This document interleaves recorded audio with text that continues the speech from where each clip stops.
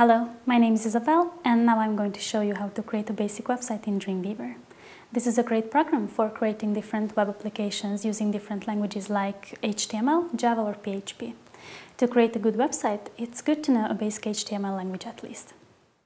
As we open Macromedia Dreamweaver, on the front screen we will see three columns with options. Uh, the first one is open a recent item, the second is create new. Here we can select the languages uh, with the help of which uh, we would like to create the website. And the third option is create from samples. These are templates that are already stored in the program itself. Um, if we are not so professional in creating a website, uh, we can simply go to the internet and download some templates from there which we prefer. Uh, now I've downloaded a file and uh, if we have the downloaded file we go to open a recent item open this folder and we have to look for the file that we have just downloaded.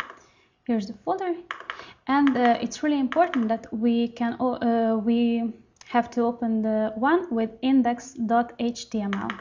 Now I open it and voila, la, we have the site here appearing in Macromedia Dreamweaver.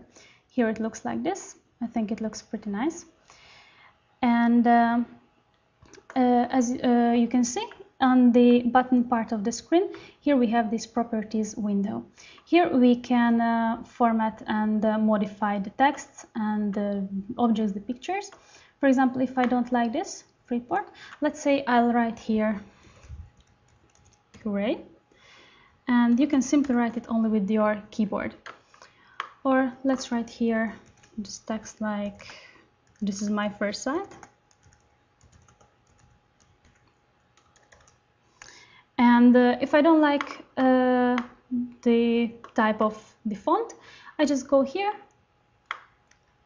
And uh, on the bottom part I can like make it bold or italic and it looks like this. Um, I can create a link as well. It's really easy. Uh, let's say I go here uh, you have to highlight the text and uh, go to the button part to the link and right here the source uh, from which you would like to you would like that the link was opened after clicking on it.